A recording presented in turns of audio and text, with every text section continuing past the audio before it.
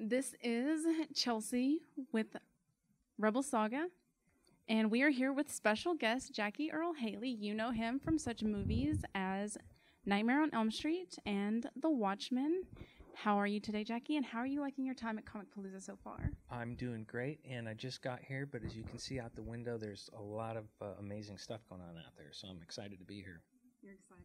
There's a lot of construction out. We hope that you didn't get lost or anything inside of that. Nope, came straight here. Okay.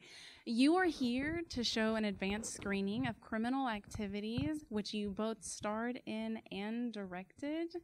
Can you give everybody just a quick synopsis of what the movie is about? Um, sure. So my first movie, so I'm really excited to have directed film. Uh, it's about these uh, four guys who are reunited. Um, uh, they're they're old college or old high school pals, and they kind of stumble onto this um, this insider trading stock market deal. That is, it's an absolute sure thing.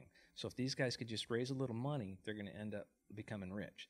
So they borrow some money, and sure enough, the sure thing wasn't a sure thing. It all fell apart. And uh, turns out they unwittingly borrowed the money from the mob. So they're in deep trouble, or they got to uh, kind of work for the mob. And this is a really interesting concept. It has the mob and insider trading. How all of how did all of this come about? Well, it kind of, uh, I think, kind of starts. The the, the, the movie opens up with uh, one of their friends, uh, who's an incredibly kind of depressed individual, where the movie starts, and and this guy, uh, he kind of throws himself in front of a bus. So his funeral is what draws everybody back together. They haven't seen each other for like ten years, and uh, again, you know, there's uh, there's this during their conversation, they, they realize that there's this, you know, this, this stock deal that that you know, they're everybody's kind of on rough times. And so everybody would love to, to make a quick buck. And it's it seems like such a sure thing that they you know they decide to borrow some money but they just didn't realize who they were borrowing it from. And who they borrow it from is eddie lovato who's played by john travolta.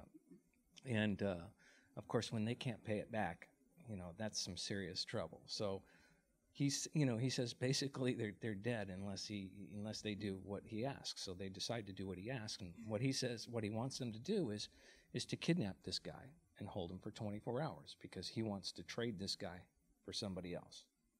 And so these guys, it's a fish out of water. They have no idea what they're doing. They're not criminals. They've never kidnapped anybody before. I mean, one guy's a stockbroker, you know, another guy's kind of a, a, a nerdy spaz real estate guy. Um, uh, another guy's a construction guy. And, and, and so, you know, these guys, they, they think they're going to you know get rich and it, and it just doesn't happen. And it's and it's very once they kidnap this guy just everything kind of starts to fall apart and gets incredibly chaotic. Okay. And as far as the inspiration where did the idea for the movie come from?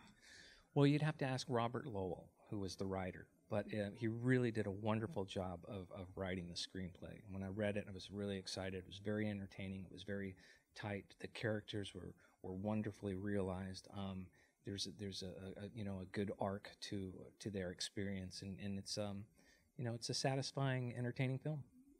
Okay. And with all of the famous talent that's in this john travolta how did everyone come together for this? How did you get involved well my manager is uh, married to this prolific producer guys uh, i think some of his more famous titles are uh, valentine's day and new year's eve but he's also done a lot of independent films, you know, in the six, seven million dollar range. And um, he had been seeing all of my audition tapes that I've been sending to my manager over the years. Mm-hmm. So he thought, you know, Jackie should probably direct this. So he mm-hmm. gave me a call and he said, hey, listen, I want you to read this script. If you like it, you know, I'd like you to direct it. Now, I've always wanted to, to direct a movie, so I was just absolutely thrilled to get this call. After I read the script, I mean, I immediately called him up and I said, I love this script. I'd love to direct it. And bam, we just started making the movie because he was basically financed, and we started the process of of casting, and um, you know, um, it was great getting John on on board. He loved the script. Him and I had a great meeting, and he was like, "Yeah, let's do this." And um, then we got Michael Pitt from Boardwalk Empire, and he's a he's great in the movie. Um, Dan Stevens uh, from Downton Abbey uh, is in the in the film. Uh, he's playing kind of the nerd and he just disappears into this role. You almost would never guess that it's like Matthew from Downton Abbey. and then Chris Abbott uh, was wonderful in the first two seasons of Girls. He plays Warren, and Warren is kind of the uh, heart and soul of the movie. He's the, the most empathetic, compassionate guy. Then we have Rob Brown, um, who I remember seeing when he was discovered in uh, Finding Forrester. So it was, really good in that. He's done a lot of stuff since then, and he kind of rounds out this group of four. And um, he's the most grounded guy. He kind of pulls everybody together when they're all kind of going crazy. And and uh, the guy that they have to kidnap and hold, his name is uh, Edi Gathegi, and he's just a wonderful actor. He um, he just just chews up the movie. Everybody loves him in it. So I've got this wonderful ensemble cast uh, in, a really kind of you know well crafted script, and it and it feels like everything just kind of came together, and it's a real real watchable, real playable, you know, real kind of fun ride. Not only did you direct it, but you acted in it. How was that being behind the camera and then needing to be in front of it as well? Well, I kind of had uh, a secret weapon for that. I had Wayne, the producer, and I also had my uh, son Christopher, who uh, is the guy that plays the, the bummed out guy in the in the front of the movie.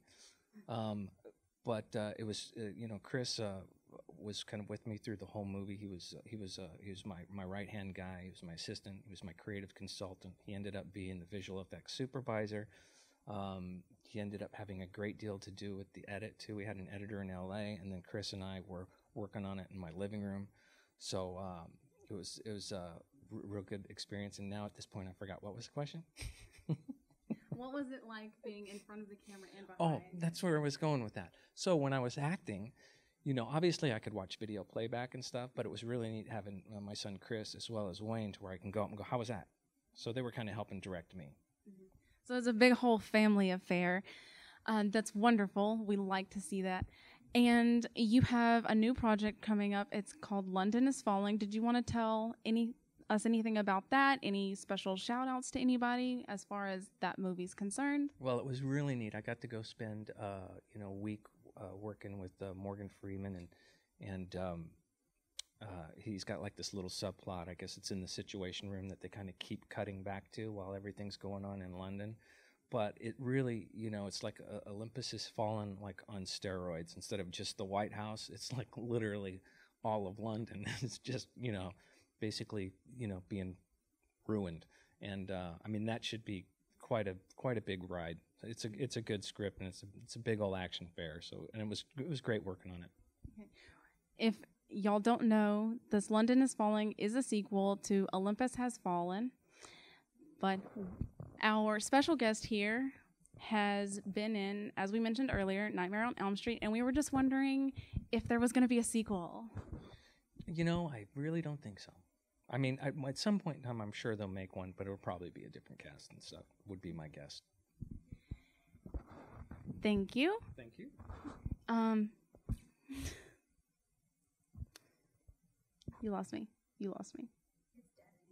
I didn't want to throw you off by dropping the camera. okay. Well, we still have audio and we can edit all of this together. So I'm going to run over the ending. Okay. This has been Chelsea with RebelSaga.com and Jackie Earle Haley. Thank you for talking with us today. It's been a pleasure. And for everyone else out there, keep it epically real.